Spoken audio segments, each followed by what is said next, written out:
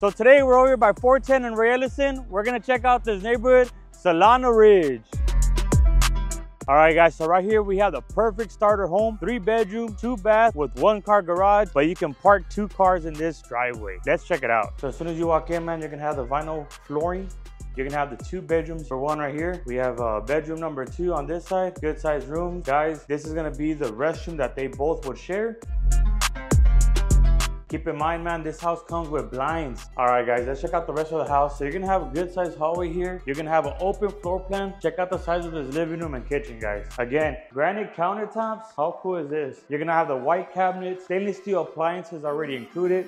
You have the stove, microwave, and dishwasher. And look at this farm style sink. So this is gonna be your master bedroom right here, guys. You have a nice sized window overlooking the backyard. So again, we have the granite countertops inside the master bathroom and check out the size of this closet.